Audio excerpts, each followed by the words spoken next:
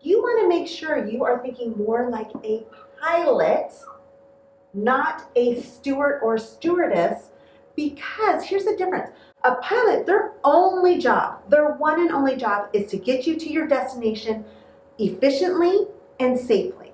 If they are concerned with what is going on in the cabin, making sure people have the right drinks, that they weren't given gluten food, that they're warm, etc., etc., they will not be as effective, right? They may not get you to where you're supposed to go. If you're supposed to go to China, you may end up in Russia. You don't want that.